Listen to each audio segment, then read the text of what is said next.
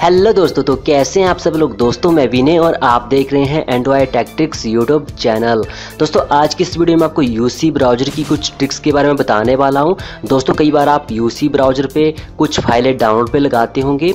आप उसे एक बार बीच में पॉज कर लेते हो, उसके बाद आप उसे थोड़ी देर के बाद फिर से डाउनलोड पर लगाते हो, पर वो फ़ाइल डाउनलोड नहीं हो पाती। आपके सामने कुछ रीट्राई की प्रॉब्लम आती है। दोस्तों, आप जितनी बार भी उसे रिज्यूम करते हैं उतनी बार आपके सामने रीट्राई के लिए बोलता है। तो दोस्तों, ऐसी सिचुएशन में आप उस प्रॉब्लम को बहुत ही आसानी से सॉल्व कर सकते हो। देखिए दोस्तों, मैंने भी यहाँ पे एक फ़ाइल डाउनलोड पे लगाई थी। अब मैं इसे रिज्यूम करता हूँ। दोस्तों, जैसे ही मैं इसे रिज्यूम करता हूँ तो देखिए यहाँ पे रीट्राई की प्रॉब्लम बार बार आ रही है, आप देख सकते हैं। जितनी बार मैं, जितनी बार मैं इसे रिज्यूम करने की कोशिश करता हूँ, उतनी बार यहाँ पे रीट्राई आता है। तो दोस्तों, ऐसे में आपको बहुत ही बुरा लगता होगा। आप मूवी डाउनलोड करते होंगे, उस समय भी आपको कुछ इस तरह की प्रॉब्लम आती होगी। तो दोस्तों, इस प्रॉब्लम को सॉल्व करने के लिए आपको करना क्या है? मैं आपको बताता हूँ दोस्तों, इस प्रॉब्लम को सॉल्व करने के लिए सबसे पहले आपको अपने फ़ाइल मैनेजर पे जाना होगा। दोस्तों, जैसे ही आप फ़ाइल मैनेजर पे आते हो, अब आपको यहाँ पे अपने यू सी वाले फोल्डर पे जाना होगा। तो आप अपने यू सी वाले फोल्डर पर जाइए। यहाँ पर वो दोनों फाइलें आ जाती है। एक तो इसकी टाइम फ़ाइल होगी, दूसरी इसकी एक्चुअल फ़ाइल होगी, जितनी भी वो डाउनलोड हुई होगी, आपने सबसे पहले यहाँ से इन्हें, अपने इन्हें मूव करना है। मूव करके आप इसे अपने एस कार्ड में कहीं पे भी पेस्ट कर सकते हो, थोड़ी देर के लिए आप इसे कहीं पे भी पेस्ट कर सकते हो। दोस्तों, यहाँ पे मैं इसे, कहीं पे भी पेस्ट करके रख देता हूँ।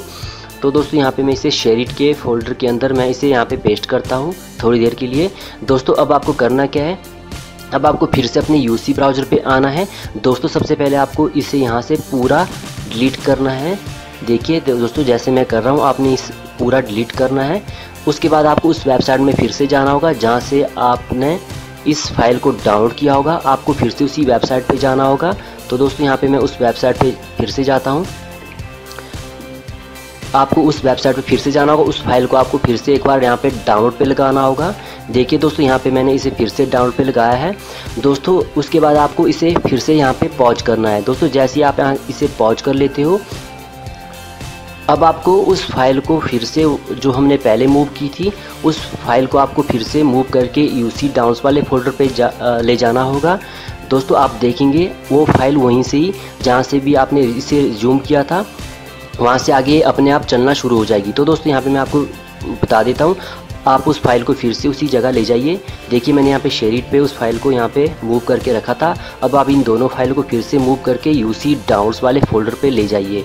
तो यहाँ पे मैं इसे यू सी डाउन्स वाले फोल्डर पे ले जाता हूँ और यहाँ पे इसे पेस्ट करता हूँ। देखिए दोस्तों, यहाँ पे ये पेस्ट हो चुकी है। अब आप देखेंगे, जैसे ही मैं इस फ़ाइल को यहाँ पे अब रिज्यूम करता हूँ यूसी डाउन्स पे तो ये अपने आप वहाँ से आगे चलना शुरू हो जाएगी।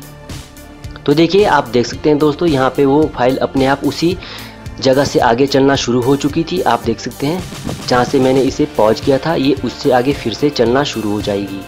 तो दोस्तों, इस तरह से आप यू यूसी रीट्राई की प्रॉब्लम बहुत ही आसानी से सॉल्व कर सकते हो। तो देखिए दोस्तों, यहाँ पे आप देख सकते हैं, ये फ़ाइल अपने आप वहीं से आगे चलना शुरू हो चुकी, आप देख सकते हैं। तो दोस्तों, अगर आपको वीडियो पसंद आती है तो इस वीडियो को लाइक करना और मेरे चैनल को सब्सक्राइब करना मत भूलिएगा, क्योंकि मैं आपको ऐसी न्यू ट्रिक्स की वीडियो हर रोज़ लेके आता रहता हूँ। तो आज के लिए इतना ही, मिलते हैं अगले वीडियो पे। Bye bye take care